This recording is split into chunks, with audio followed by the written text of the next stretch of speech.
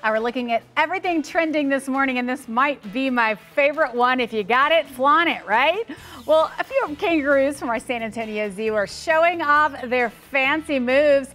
All after that Australian breakdancer went viral at the Olympics. Now we're hoping those kangaroos there can break the internet just like our talented Australian friend there, but I don't know. I think they got the moves over there. And of course they're at the zoo, so they're just so happy.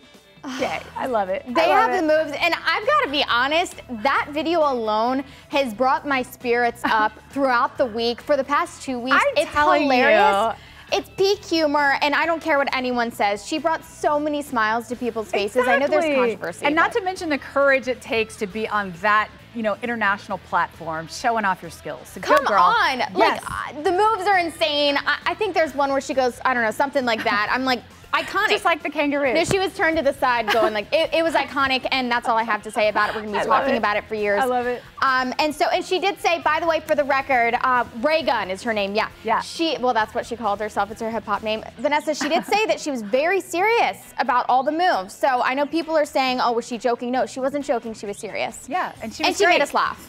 She was great. She was great. That's all I'll say about it. I could talk about Ray Raygun forever. That is my hero. Okay.